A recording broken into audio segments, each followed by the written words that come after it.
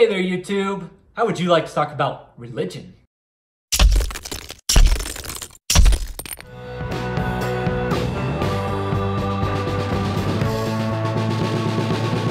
All right, guys. So religion is a difficult topic. It is a. It's kind of like the political topic that we discussed in a previous video. I I don't have reservations about talking about the reasons I believe things, but I know a lot of people have reservations on hearing them, and that's why I believe this is a very difficult topic. So in last week's video, I talked a little bit about belief and about how I think that you can't really control your beliefs, but you can control the information that forms them.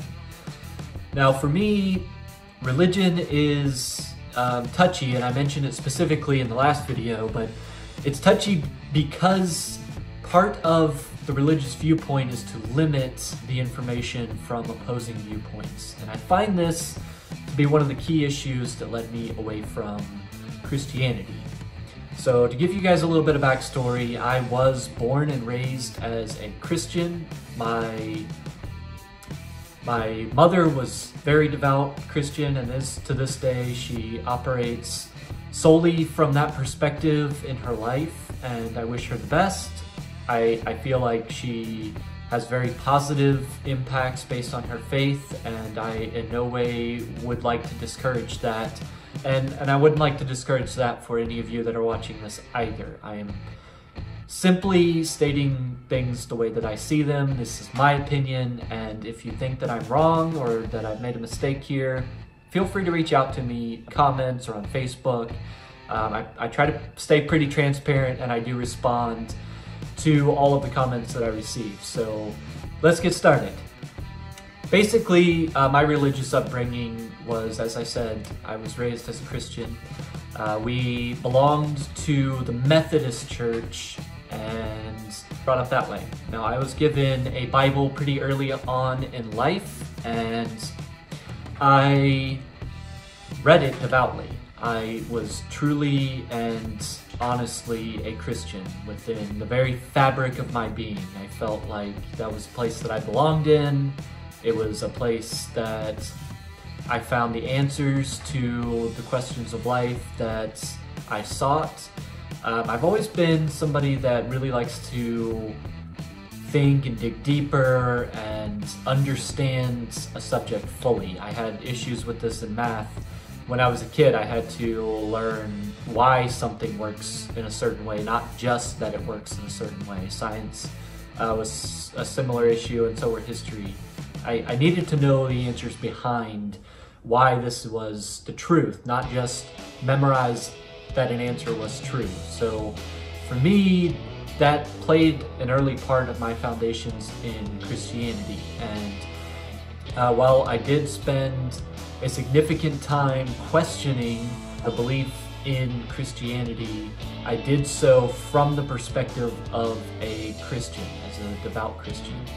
Now, I will say that I think that reading the Bible word for word, which I have done in three different translations throughout my life, and particularly the New King James Version early at this point in my life, I had some questions that that brought up. And I, I feel like reading the Bible is a very quick way to start questioning your belief because things don't necessarily line up.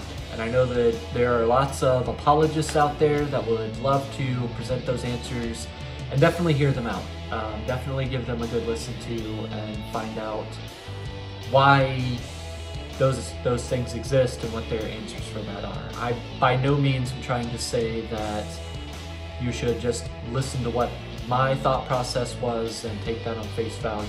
That would defeat the purpose of skepticism. For me, questioning Christianity came very naturally.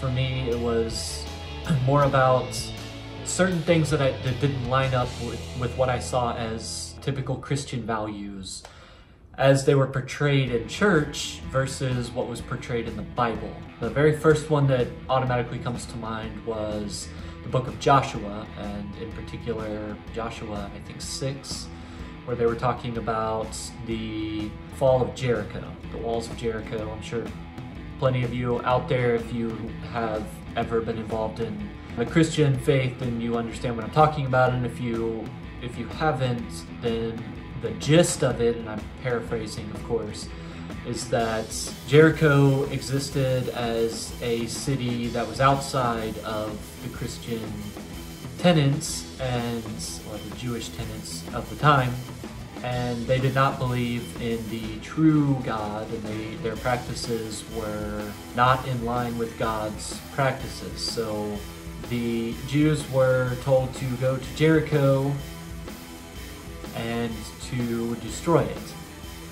They found the walls of Jericho defended the city well, and they couldn't have a full-on invasion, so there was some magic chanting and circling of the walls that happened, and the walls of Jericho crumbled, and then they were able to invade.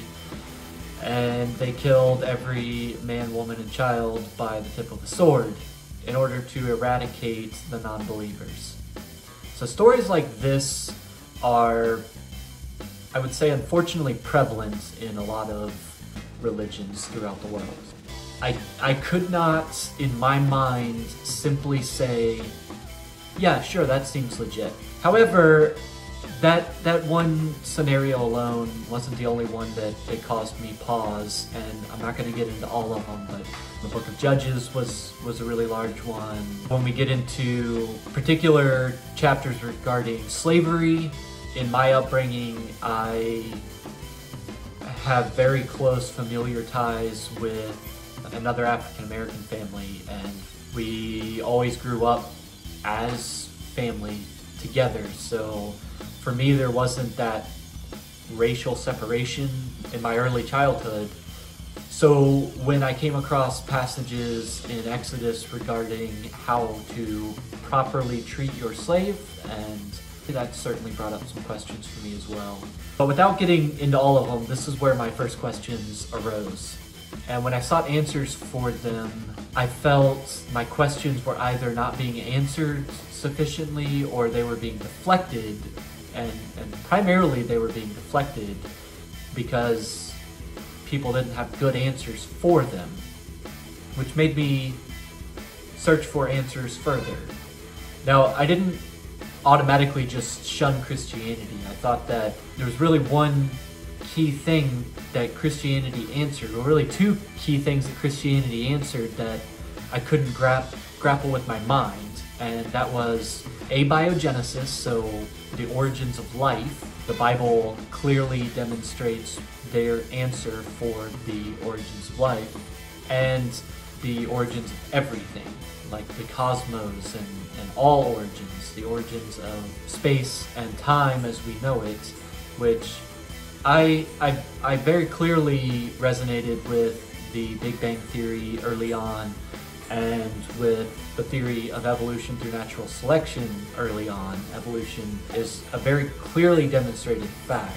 The theory of evolution being how that fact relates to the progression of organisms on the planet and speciation etc. So those that that's something for another time as well. I, I don't want to get too wrapped up here, but neither of those theories actually answers the question, nor do they serve to answer the question of what the origins are. As far as origins go, Christianity, being the only philosophy that I knew at the time, provided that answer, and therefore I was going to stick to Christianity and find out the answers to the other things that were muddying those waters.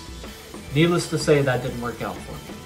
And before I really approached into my teen years, I was still grappling with Christianity and trying to reconcile some of those questions. And I developed one question that really bothered me the most at that time.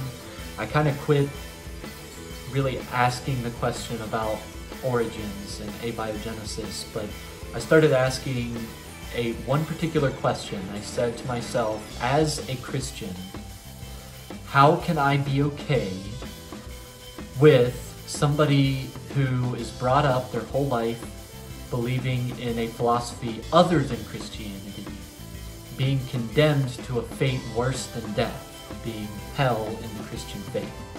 So if somebody is born in India, if I was born in India, and I was brought up in a faith system that practices what we know in America to be Hinduism, how could I therefore say that that person should be damned to go to an eternity of suffering for the longest, greatest time possible, which is forever?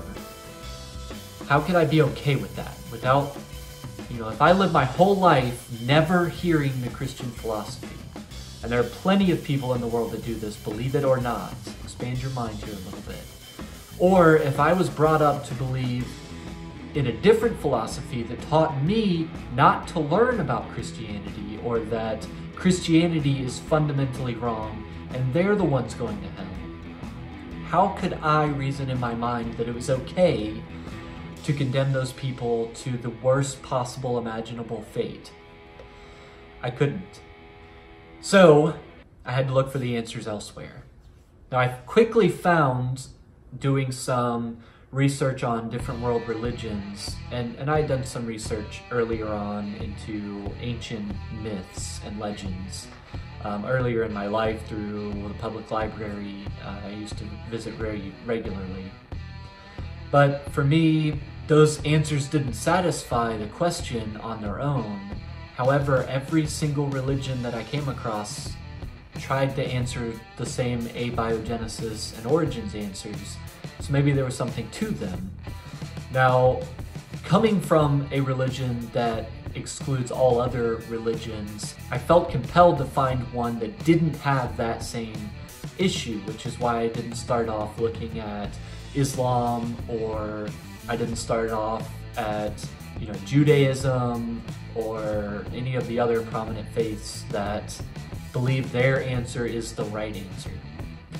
Now, I have since learned that there are many Jewish people even that are accepting of other people's faiths and um, are non-judgmental, and I've even found Christian groups that are non-judgmental when people don't believe exactly as they do, and kind of answer this question. I unfortunately didn't find it then in my life. I went from there and started looking at a number of different religions. I started learning about different pagan faiths early on. Wicca drew my attention pretty quickly because it preached, well, it doesn't really preach, but it taught tolerance and it taught acceptance. It taught that there are many different paths, and just because you change the name on something doesn't mean that you're wrong, and you could still go to the good place after you died. And so I followed that for a while. However, I wasn't completely, like I didn't cash in all my chips for Wicca. I also started to look at other faiths. So I spent a lot of time with an Hare Krishna group and they practice a westernized version of Hindu faith, resolving from the Rig Vedas and into the um, Bhagavad Gita. So I did learn quite a bit from them as well and, and what they thought of, uh, what they thought was right and wrong. And there were some things, um, in particular, things that bothered me about that faith group wasn't so much the community, it was the black and white, our dietary choices are the only ones that could possibly be right.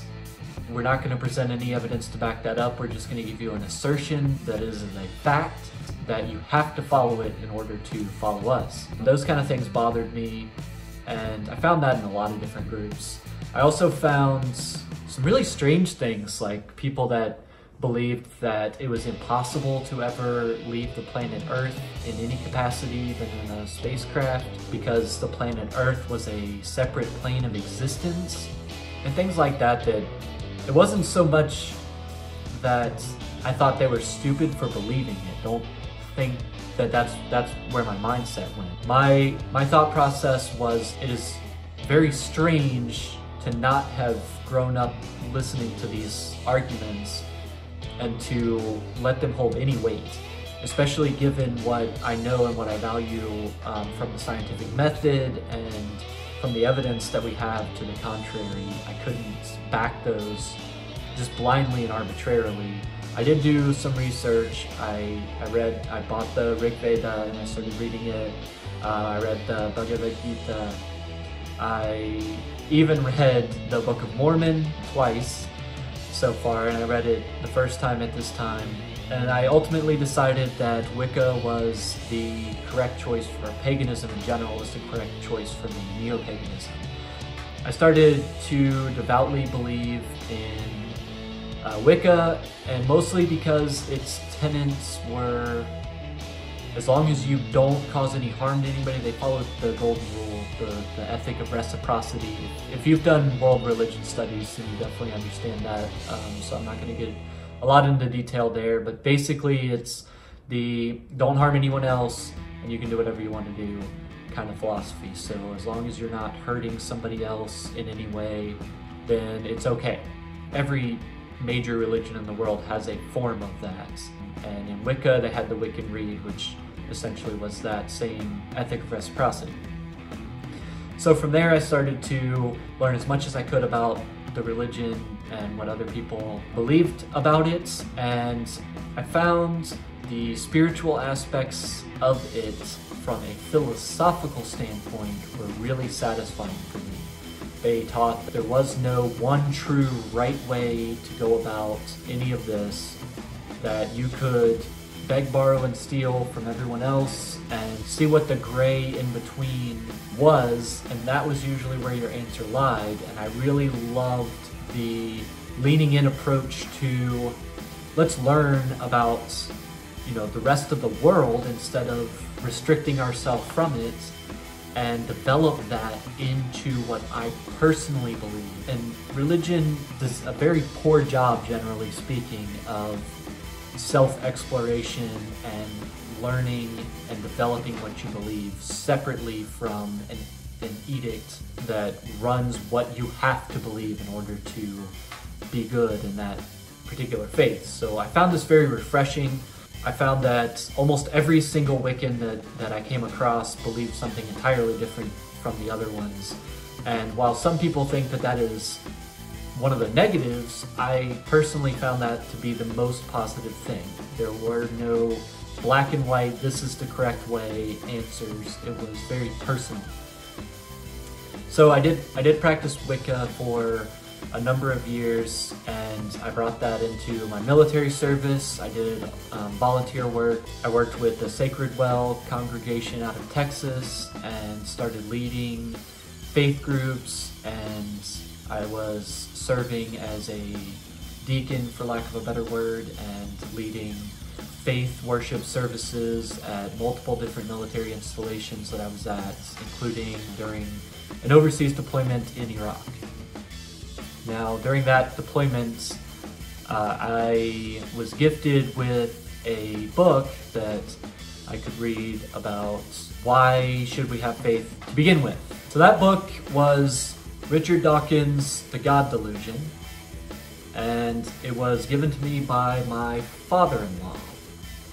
Now, my father-in-law was an atheist from the time that I first met him. He is a very intelligent person, and so when he offered me that book to see that perspective, I jumped on it. I, you know, I just being somebody that I like to learn as much as I can, I went ahead and read the book through its entirety and I went back through and read it a second time um, to kind of pick up some things that I thought, you know, I had some questions about some of it. Even Richard Dawkins says, you know, some of it is a bit on the fallacious side.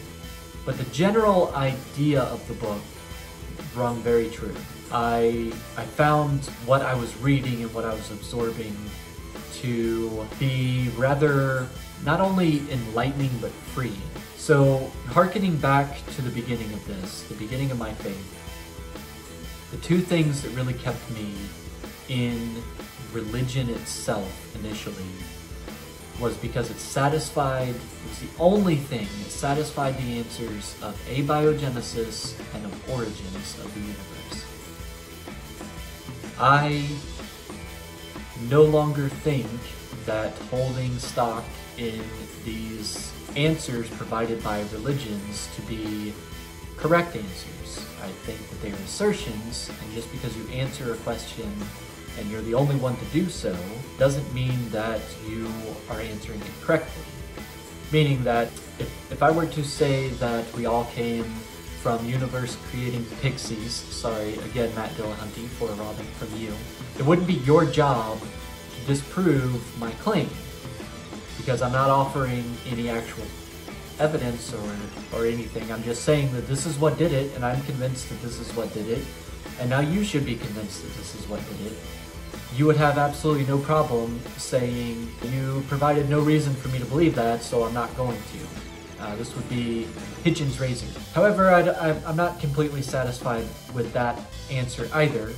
I think that it is important to listen to one another and to hear what we actually think and believe and to justify those beliefs that we hold to ourselves before we try to convince anyone else to believe the same things we do. I think that arbitrarily eliminating somebody's answer. First of all, it's a fallacy. It's called the fallacy fallacy of all things, meaning that just because somebody is fallacious in presenting their argument does not mean that their conclusion or gist of their argument was necessarily false. It just means that you can't put stock into the way that they went about it. Doesn't mean they're wrong, it just means that I remain unconvinced. From there, I started to learn more and more about atheism and what atheists believe, and surprisingly enough, being an atheist means that you do not accept the claims that other people make that a God exists. Now, some, some people believe that God does not exist, typically called hard atheism. I, I don't fall into that camp because I've not seen any evidence to show that God does not exist. However, I've also not seen any evidence to show that God does exist, and therefore I don't have a reason to believe in that more to a neutral default position. So I, I do definitely ascribe myself to being agnostic because I don't know that God does or does not exist. I do not wish to force that particular opinion upon anybody. That is just where I am. Agnostic and atheist are terms that, I mean, we can define in greater detail later. For the purposes of this conversation, I am agnostic atheist, meaning that I don't know uh, one way or the other, being agnostic, Gnosticism being knowledge, theism being belief. I do not ascribe belief to something that I don't have knowledge about. So that's where I'm at. I'm not trying to say, by saying that I'm an atheist, I'm not saying anyone who believes in something, anyone that is a theist is automatically wrong. I'm just saying I'm not convinced of your position. I think that's going to be it for today's video. I know it's kind of a deep one, but this is one that I wanted to lay some foundational work on for later videos so that we can have better discussions and you'll kind of know my standpoints and where I'm coming from. Thank you guys, as always, for watching, and if you like this content, I do plan on continuing this series every Saturday. I will be posting these videos in the morning every Saturday, and from here on into the future, these won't always be uh, about such deep topics as um, belief in religion or um, political values or things like that. But I do, I did want to touch on these at first to kind of give a baseline for future content. I, I plan on having some of these just being about me and about my pets and about uh, some of my life experiences. So if you like this one, give it a thumbs up. Go ahead and subscribe down below and you will see more and I will catch you in the next video. Thank you.